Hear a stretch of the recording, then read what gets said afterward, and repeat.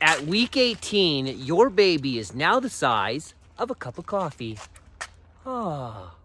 It's a big cup of coffee. That is a big cup of coffee. Welcome back to Womb Wednesday, a weekly vlog where we uh, talk to you about our current pregnancy and see what my book, A Dude's Guide to Baby Size, has to say about this current week of pregnancy and the journey that it is. Um, First, let's get some business done here. We got to give away an audiobook version of it from a commenter from the last video. So if you want to win an audiobook, comment on this video. But this last week's winner is Olivia Powell. Olivia Powell. Olivia Powell, congratulations. She is also pregnant. so she can she and her husband can listen to this and uh, drink it all in. Mm. How are you feeling, Heidi? Let's update on you. Okay, well, we're talking about eight, week 18. Uh, I, I feel okay. I actually, I got a new gym membership last week, so I've gone to the gym. Get it, girl. Yeah, I'm trying to. but, uh, you know, pregnancy comes with all of its things. So, uh, I feel dizzy. I'm super congested still. Um, I can tell you why you feel dizzy because I just reread this chapter. Oh, it's really? because uh, the baby is currently requiring more blood. So Oh. there's a lot more blood flow going to the baby, which means there might be a little less going to you, which is going to make you dizzy. Does it also make you forgetful? Because that's a thing too. Yes. Um, so, week 18 is the coffee chapter, and basically what this whole chapter is about is about comparing yourself to other parents.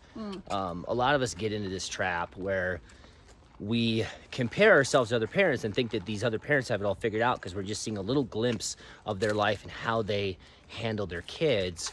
And we're so insecure about how we're doing it because we know our entire story and how much we struggle that um, we do that compare game, right? Well, and it usually happens on the day that you just had a bad day with your kid, and you see that parent's having the perfect day with their kid, and you're like, yeah, they got together. I don't. I don't know what I'm doing. I need professional help. But uh, with that, you know, you also get you can't get in that trap of thinking like parents know best, because parents should know know best. But there's a lot of parents that don't know best. And the way I've kind of like decided that I look at it is like you should be the expert on your kid if you're putting in the time and effort. You know, like Yeah. because each kid is different and each kid takes a different approach. So my thought is you got to put in you got to try a lot of different things to see what works best.